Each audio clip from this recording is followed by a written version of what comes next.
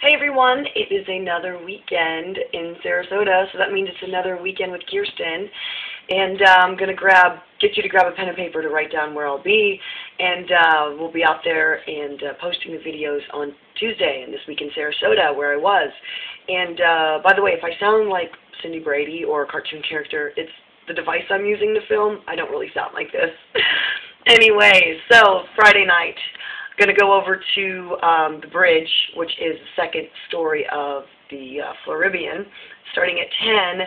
It's $20 to get in, but that also gets you two drinks, uh, three DJs, and girls walking around with lingerie painted on them. Should be interesting, should be fun. It's their first big party over there, um, a lot of VIP stuff. Uh, should be a blast. Anyway, Saturday at uh, from 5 to 9, I'm going to go over to um, Clothesline.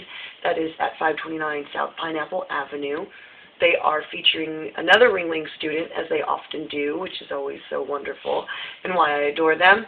Uh, Sashir is the uh, artist this Saturday, and uh, it's called Friends and Monsters.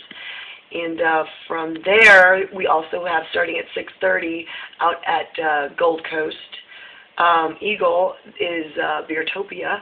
57 beers, uh, food from local restaurants, live music, dancing, silent auction. It is a fundraiser for uh, the Manatee Junior League.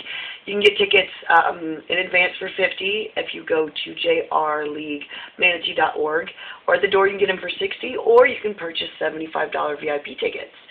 So again, I hope to see you out there with me, and uh, if not, look for the video on Tuesday. And uh, I'll keep you posted next week, once again, where I'm going to be over the weekend. So if I don't see you, have a wonderful weekend, and uh, be safe. Bye.